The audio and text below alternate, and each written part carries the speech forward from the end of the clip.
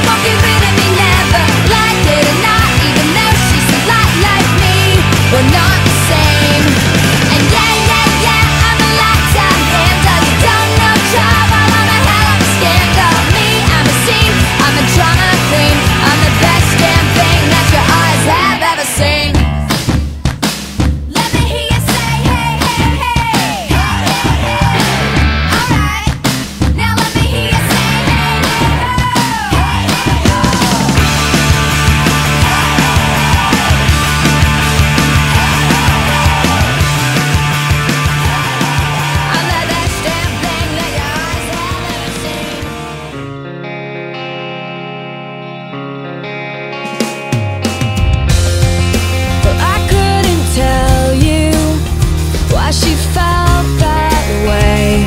She felt it every day.